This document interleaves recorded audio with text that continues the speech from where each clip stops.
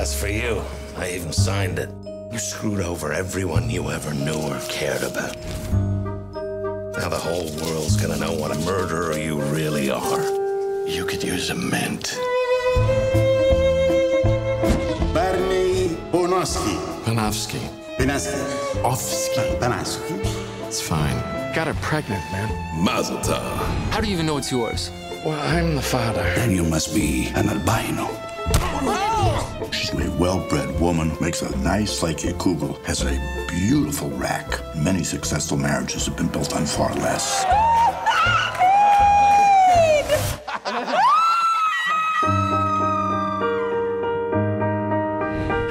We haven't met. I'm Barney. I'm Miriam. Are you doing anything later? Because we could still catch a flight to Rome. The bride may take issue with that. Will you put that out? Yeah. A lot of my relatives have asthma. Don't be ridiculous. We just met at your wedding.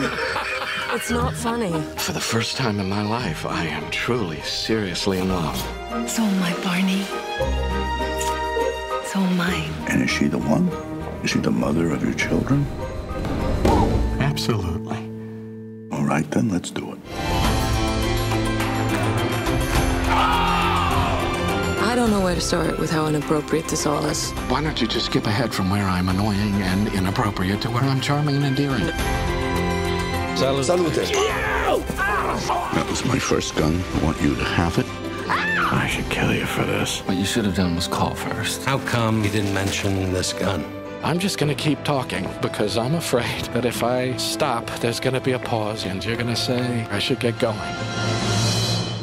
There it was, the pause. I'm still here.